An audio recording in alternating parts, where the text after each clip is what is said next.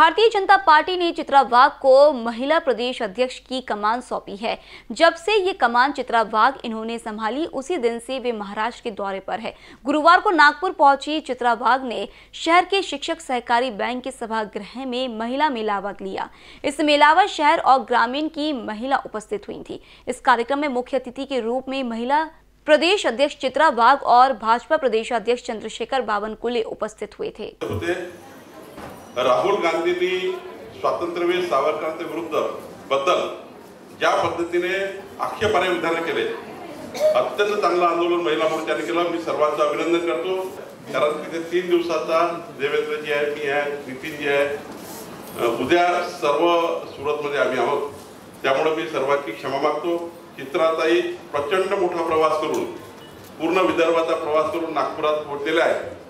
अत्यंत सक्षम नेतृत्व भारतीय जनता पार्टीने प्रदेशाचे अध्यक्ष म्हणून त्यांना दिला आहे. आपण